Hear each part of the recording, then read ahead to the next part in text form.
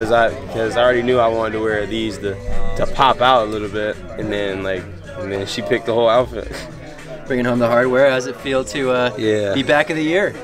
Uh, it feels good, man. You know, you know, you know, just sitting out a lot. You know, just trying to learn, just trying to learn the whole thing of being a, a pro, kind of. Uh, just just trying to learn how to carry carry my, my, my myself, but also my my my uh, my group too. So.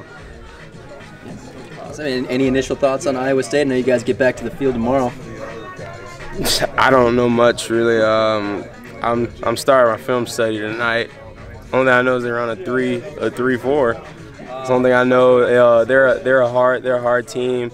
Uh, to to be honest, they're like four or five plays away from being like I mean a 12 a 12 a 12 and 0 team. So can't take them lightly. A little bit more important too with the this last game of the season, just uh, having that bowl game to go out on. Yeah, uh, just you know, you know, just just knowing that our like season's been good, but we had some downs.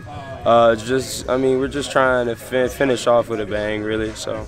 Have you given much thought to next year at all? Ah, no, not, no, not, no, not really. Um, just trying to fin- finish the season, season strong and finish classes good, so I can get my degree. Okay. Yeah, I remember. What's going to go into that decision to decide whether or not to come back or not, though? Nah, just I, um, to be honest, I just gotta talk to my family, and then talk to the coaches, and just see and just see what's good for me. So.